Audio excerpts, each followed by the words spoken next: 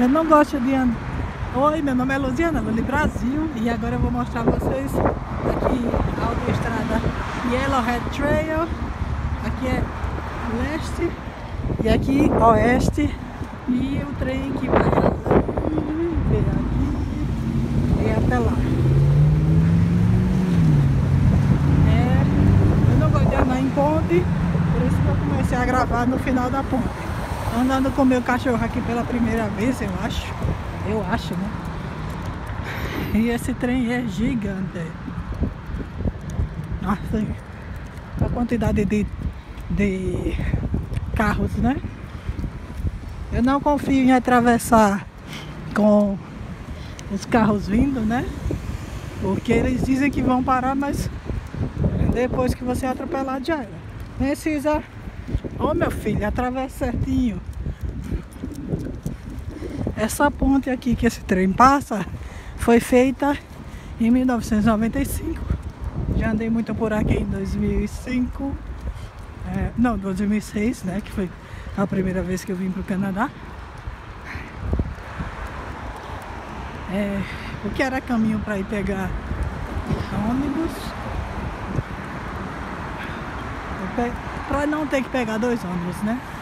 Essa ponte foi feita em 1995. Antes as pessoas tinham que esperar esse trem todinho passar. Né? Aí tem aqui a placa falando sobre isso. Aqui é a CN Trail Bridge 1995. Né? Diz quem foi contratado e tal, só não diz o prefeito. Tem? Não, tem o engenheiro, mas o prefeito não diz não, da época, né?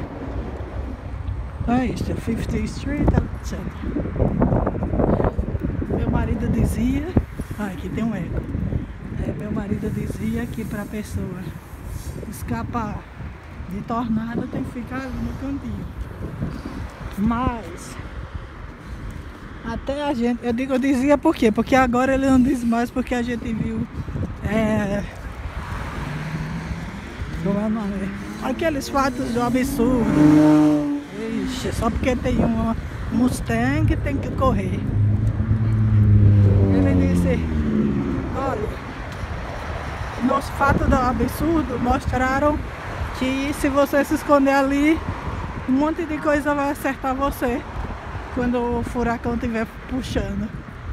Então, não sei, já diminuiu a quantidade de coisas que podem é, ajudar você a escapar. Então, na minha opinião, é melhor ter cuidado. Eu acho que aquelas flores ali são as famosas daqui, é, rosas selvagens. Eu acho, posso estar enganada, viu? Não manda minha palavra não, porque eu não sou conhecedora de botânica. Quando eu vim para o Canadá, a única coisa que eu prestei atenção é o monte de parece que vai diminuindo à medida que o povo vai fazendo casas. Então é isto que eu queria mostrar. Okay? Obrigada por ter assistido. Beijos e fiquemos com Deus.